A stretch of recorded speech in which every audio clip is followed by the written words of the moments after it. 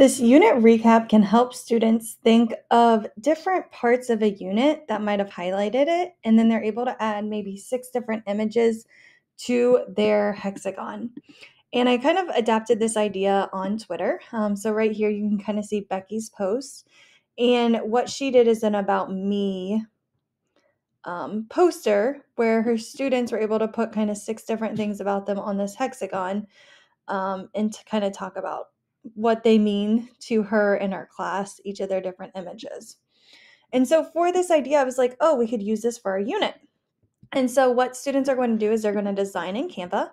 Just because it's really easy to design this in Canva, they are going to go in and add different images right onto um, this design. So like, let's say I want to add this Maybe they want to add this one and they just click and they're adding these different things. Um, they're able to search. They can kind of do whatever they want. After they get their multiple different images that represent that unit or that topic, students are then going to download their image to a shared slide deck. All right, so let me go ahead and just grab another image. And that was that's it. That's all they have to do is quickly search. Then they're going to go down here to share and they're going to click download. They're going to mm. download it as a PNG and make the background transparent and click download.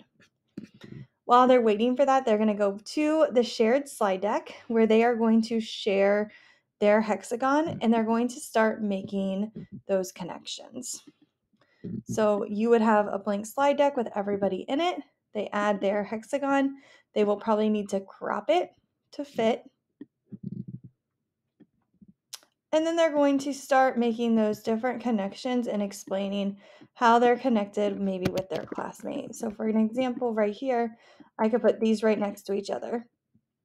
And students, again, they're going to start explaining those connections between other students' concepts that they came up with for that might have stood out about the um, unit or about the topic. And now they're able to make those connections to each other and they're able to show all of those different things that they might need to do in order for them to kind of talk about those big picture concepts um, that they were able to take away. So, what a great activity. And again, having students justify and make those connections can extend this act, um, depth of knowledge as well.